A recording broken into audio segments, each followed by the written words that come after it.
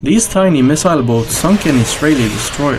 In the attrition war between Egypt and Israel post the Six Day War, and seeking revenge for the losses the Egyptians suffered from an Israeli destroyer codenamed Eilat, Egyptian missile boats positioned within the harbor at Port Said sunk the destroyer Eilat in late October 1967. Struck by three missiles from the boats over the span of an hour, Eilat sank with a loss of 47 sailors out of 199.